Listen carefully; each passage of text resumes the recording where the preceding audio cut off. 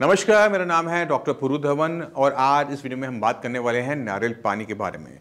क्योंकि गर्मी का मौसम शुरू हो गया है, लोगों को नारियल पानी बहुत पसंद है, मगर किडनी फेलियर पेशेंट की बॉडी के अंदर नारियल पानी जब जाता है तो कुछ ना कुछ ऐसा होता है जो आप सभी को पता होना चाहिए। तो शुरुआत करते हैं नारियल पानी से।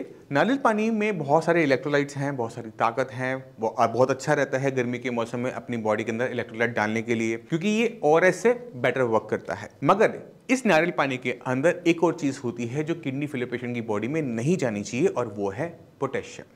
तो अगर किडनी फेलियर का पेशेंट नारियल पानी का इंटेक करना शुरू करता है किसी भी कारण से, या फिर नारियल की बनी हुई कोई और चीज़ लेता है, जैसे चटनी ले रहा है, या फिर लड्डू खा रहा है नारियल के तो उसकी बॉडी में पोटेशियम की मात्रा बढ़ने लगती है।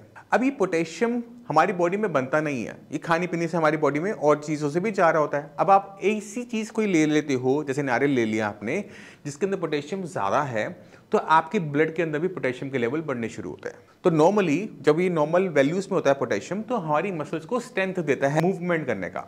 मगर जब इसकी वैल्यूज़ बढ़नी शुरू होती हैं तो यही पोटेशियम हमारी मसल्स में थकावट फटीक पैदा करता है। आपका जो हर्ट है, जो हर सेकंड धड़कता है पूरी बॉडी को ब्लड देता है उस पर इस पोटेशियम का बहुत बुरा इफ़ेक्ट पड़ता है। जब पोटेशियम बढ़ता है, आपकी मसल्स थकती हैं तो आपकी हर्ट की मसल्स भी थकना शुरू कर देती है और वो धीरे धीरे पंप करना शुरू करती है।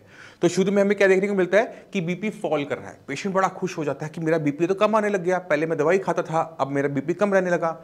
मगर बीपी इतना डाउन हो जाता है, हार्ट इतना स्लो डाउन हो जाता है कि वो धड़कना बंद कर सकता है। इसी वजह से अगर आपके ब्लड की रिपोर्ट के अंदर पोटेशियम की वैल्यू सेवन से प्लस आ रही हैं तो हमें अर्जेंट बेसिस पे, एमरजेंसी बेसिस पे डायलिसिस करवाना पड़ता है, चाहे आपका कैटेनिन लेवल हो या ना हो पैर में स्वेलिंग हो, ना हो, कोई फ़र्क नहीं पड़ता। उस पोटेशियम को बॉडी से फटाफट निकालने के लिए हमें डायलिसिस एमरजेंसी बेसिस में करना पड़ता है। तो इसी वजह से जितने भी किडनी फेलियर के पेशेंट हैं, उन्हें हाई पोटेशियम चीज़ों से दूर रखा जाता है और नारियल नारियल पानी उनमें से एक है। इसी तरह से केले हो गए, कीवी हो गए, एवोकेडो हो गए, ड्राई फ्रूट्स हो गए, गुड़ हो गया, इनसे भी दूर रहने के लिए कहा जाता है क्योंकि इन सब के अंदर भी पोटेशियम की मात्रा बहुत ज़्यादा होती है। तो मैं उम्मीद करता हूँ इस वीडियो से आप समझ गए होंगे कि क्यों एक किडनी फेलियर पेशेंट को नारियल पानी मना किया जाता है। और नारियल पानी जैसी और चीज़ें जिनके अंदर पोटेशियम हाई है, उन्हें क्यों मना किया जाता है?